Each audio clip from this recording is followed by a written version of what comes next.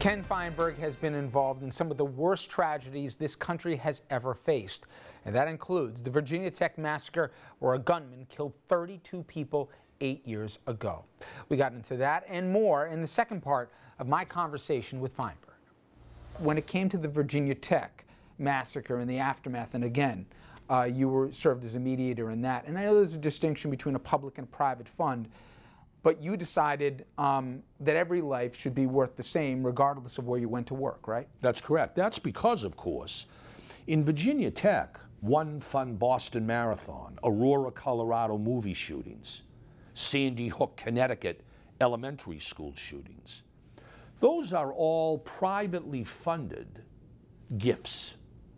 It's gift money. It's money from private donors. No recipient of money in those funds signs a release, I will not sue. I will not go to court. You can take that money, hire a lawyer, and go to court if you want. Some did. So when there's no tort overhang, where there's no requirement that you surrender any rights, it's just a gift, I have great leeway in providing whatever formula I want uh, it doesn't matter that one person who died was married to a banker and another was married to a fireman. All lives are equal. Is that the better way to do it? We talk about leeway. I, I make you Solomon here where you get to rewrite tort law. Should that be the way in the aftermath of tragedy or disaster that regardless um, of your vocation or your expectancy over the lifetime of earned income, that everybody should get the same? Yes, that would be a better way. The trouble with the better way, you see, if you decide as a policymaker that you only get the money if you waive your right to go to court, well, you can't give everybody the same amount then. Yeah. If you're trying to voluntarily convince a stockbroker or a banker or a lawyer or an accountant not to go to court, you've got to provide them more of an, a financial incentive than the waiter, the busboy, the cop, the fireman, the soldier. They're not making anywhere near as much. AIG, um, you also served um, in, in, terms of a, a, fund and distribution, but there's a postscript to that, which is Mo Greenberg sued, and while there was a mixed verdict, he didn't certainly get the uh, the payment at the end that he wanted. Uh, there was some acknowledgement from the court he had a case. You are eyewitness to history in interesting ways, in, in boardrooms and behind the scenes there's still a palpable frustration past 2008 that the folks who caused a lot of the uh, you know problems obviously um, got off without going to jail and let alone in some ways were compensated very handsomely. And there doesn't seem to be an acknowledgement of responsibility and that case for many was perfectly emblematic of it. From your vantage points um, did folks get it? And sometimes on broader cases, you don't even have to name the folks.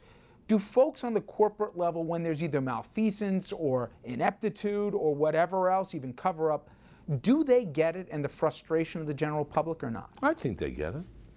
I, they may ignore it, but I think they get it.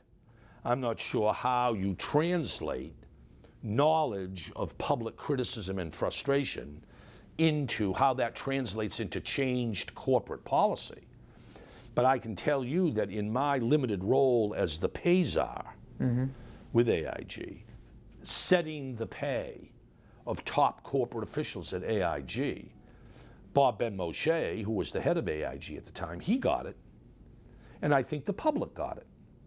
But um, it was a moment in time which has since passed, of course. You know there's a sense of ungratefulness from the part of the public when they saw the Greenberg suit. It's like, wait a minute, we're bailing you guys out and now you're suing because you didn't get the deal you wanted. I know it's more complicated than that, but from a visceral level, sometimes you, you, get the sense from the public that, wait a minute, there's a disconnect here. I think you get that from the public every single day. I heard that when I was at Treasury doing pay.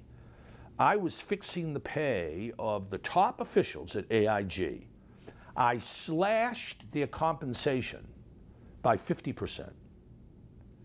And still, a view from the public, I think, largely, well, that's all well and good, but why aren't they in jail?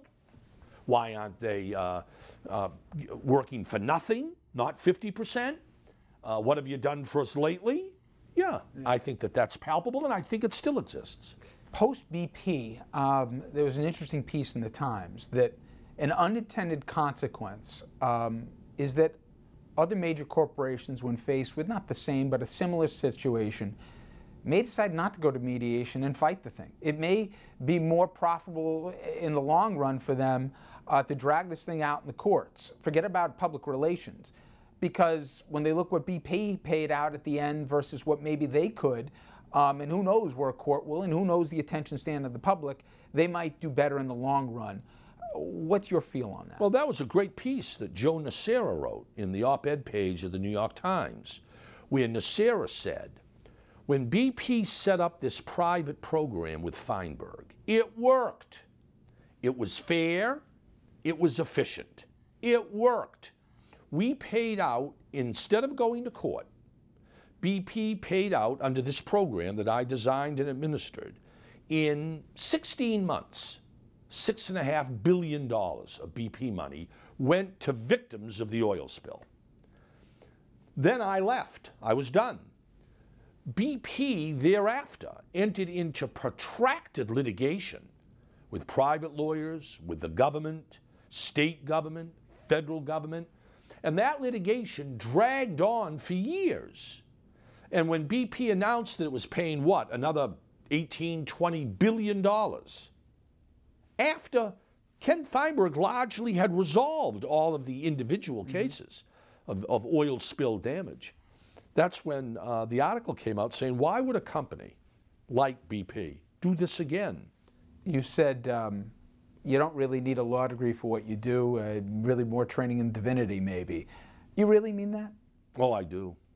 I don't think a law degree, I think a law degree is a sort of a wash in this business. Maybe it helps me designing a program and assuring everybody of a due process right to be heard, etc.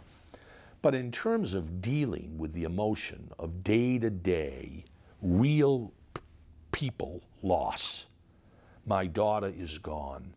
I remember one time I said to a, um, a, uh, um, a, a victim of the Boston Marathon bombing, he had lost a leg. And I said to him, Mr. Jones, this is terrible what happened to you. I'm going to give you a million one hundred and twenty-five thousand dollars tax free for the loss of your leg. He looked at me. Said, Mr. Feinberg, you're going to give me that money? I got a better idea.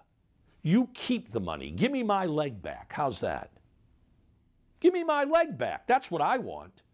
Mr. Jones, I wish I had that power. I don't. All I can do is give you this check. He says, Yeah, great. Thanks for nothing.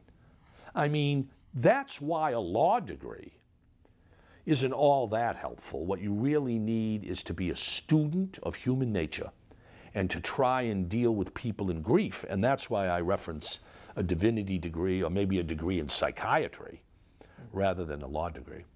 Well, it's a great book, and it's not just obviously about the law and the cases, but uh, everything that goes into it, in between, and even after. Ken, I appreciate a few minutes. Thank you so much. Thank you so much.